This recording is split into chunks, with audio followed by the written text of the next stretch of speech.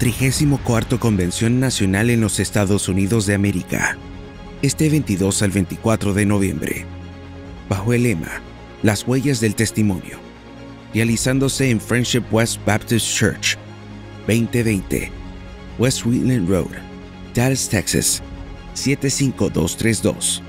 Estará con nosotros el reverendo José Arturo Soto, presidente del Movimiento Misionero Mundial el reverendo Humberto Henao, vicepresidente del Movimiento Misionero Mundial, el reverendo Alberto Ortega, supervisor nacional en los Estados Unidos de América y oficial internacional del Movimiento Misionero Mundial.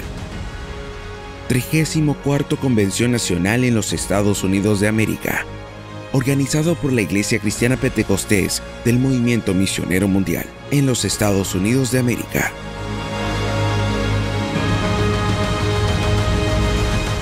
Te esperamos.